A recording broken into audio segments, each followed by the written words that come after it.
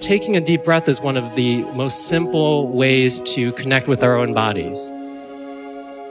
But taking a deep breath was not something that was possible on this earth three billion years ago. Before the ozone layer existed, Earth was not really able to sustain complex multicellular life.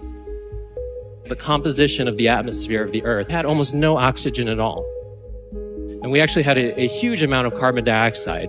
And the net effect was a almost inhabitable planet.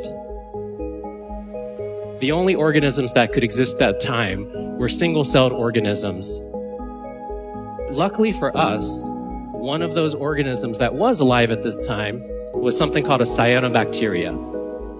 And this organism has the special trick that we call photosynthesis.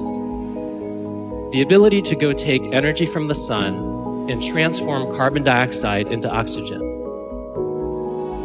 And over the course of billions of years, little by little, these bacteria spread across the planet and converted all that carbon dioxide in the air into the oxygen that we now have. And it was a very slow process. First, they had to saturate the seas. Then they had to saturate the oxygen that the earth would absorb. And only then, finally, could oxygen begin to build up in the atmosphere. And about 600 million years ago, something really amazing happens. The ozone layer forms from the oxygen that has been released in the atmosphere. And shortly after the ozone layer came into place, the Earth was able to sustain complex multicellular life. There was a Cambrian explosion of life in the seas. And the first plants got onto land. In fact, there was actually no life on land ahead of that. Nothing that you are familiar with today could exist without the contributions of these tiny organisms over those billions of years. Imagine you were one of these little organisms two billion years ago. You might be born, you live a couple weeks, you die, and you kind of feel like, well, nothing really changed. I had no purpose in this life. The world I came to is exactly the same as the world that I left.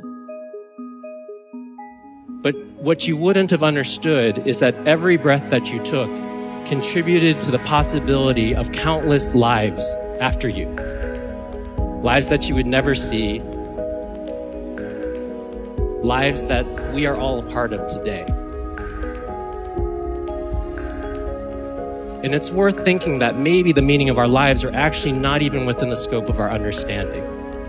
Because it's true of every one of these organisms, it may also be true of us. And if it's a possible thing for cyanobacteria to completely transform the physical environment of our planet, it is absolutely a possible thing for us to do the same thing. We've been given this amazing gift of consciousness. And because of this gift, we have the ability to deeply understand our connectedness. And because we can deeply understand our connectedness, we're the ones that have the decision on how we're going to go use that knowledge to build our societies and to shape our lives.